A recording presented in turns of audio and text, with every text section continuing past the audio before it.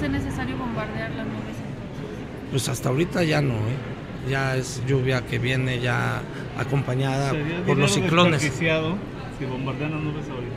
Pues ahorita sí, ahorita sí. La lluvia se espera, entonces no hay necesidad de bombardear. Pero sí se espera que el mes de julio y agosto, septiembre, sean los meses de más lluvia para Aguascalientes.